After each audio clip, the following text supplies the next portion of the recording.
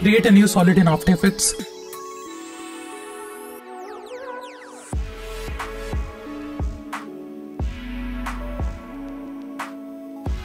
Go to Effects, Simulation and choose CC Starburst.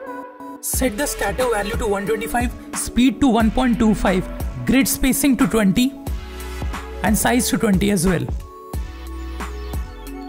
Next, go to Effect, Generate CC Lightburst 2.5. Set the ray length to minus 90. Next, go to Effect, Matte, Matte Choker. Set Choke 1 value to minus 125.